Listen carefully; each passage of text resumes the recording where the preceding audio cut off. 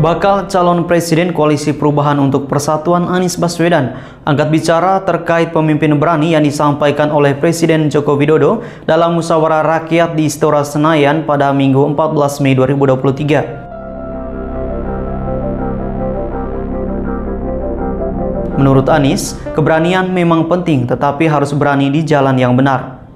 Kita harus pastikan diri benar dahulu baru kemudian mengambil keputusan dan tindakan yang berani.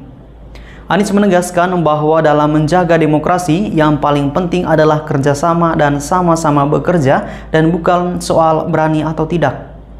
Belakangan ini banyak orang yang mengambil keputusan dan tindakan dengan dasar keyakinan yang penting berani.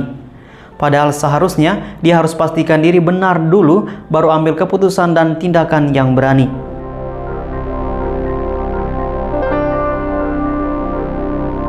Sebelumnya, Presiden Jokowi menyampaikan bahwa Indonesia membutuhkan seorang pemimpin yang berani. Pasalnya, negara ini merupakan negara yang besar dengan jumlah penduduk mencapai ratusan juta jiwa.